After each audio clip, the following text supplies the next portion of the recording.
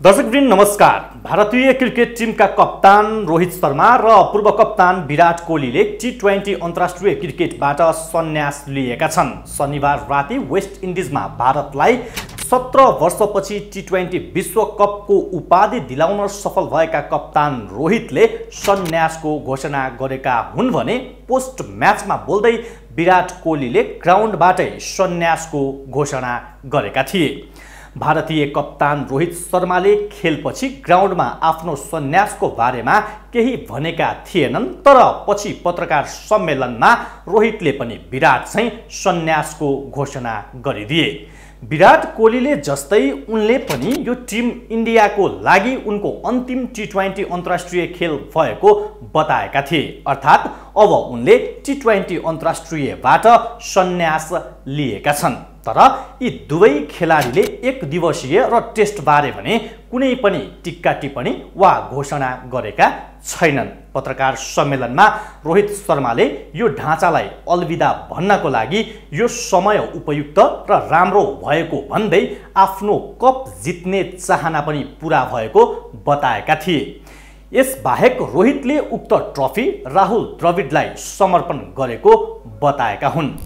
रोहित शर्मा हालसम्मका सबै T twenty विश्वकप खेल्ने एक मात्र भारतीय खेलाडी हुन्। उनी दुई हजार सातको टी ट्वेन्टी विश्वकपको टोलीमा पनि थिए र अहिले दुई हजार चौबिसमा उनकै कप्तानीमा टोलीले यो प्रतियोगिता समेत जितेको हो। रोहित शर्माले आफ्नो करियरमा कुल एक सय उनासाठी टी ट्वेन्टी अन्तर्राष्ट्रिय खेल खेलेका छन् जसमा उनले चार हजार दुई सय एकतिस रन बनाउन सफल भए। यो फर्मेटमा उनको नाममा सर्वाधिक पाँच शतक समेत रहेको छ। यो कृतिमानी शतक पनि हो। रोहितले टी ट्वेन्टी अन्तर्राष्ट्रियमा कुल बत्तिस अर्धशतक पनि बनाएका छन्। उनले यही ऐतिहासिक कृतिमान सँगसँगै आफ्नो यात्रा अन्त्य गर्ने निर्णय गरेका हुन्।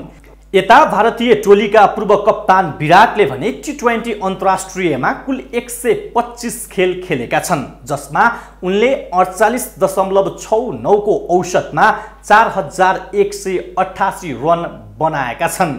उनले एक शतक र अडतिस अर्धशतक पनि बनाएका छन्।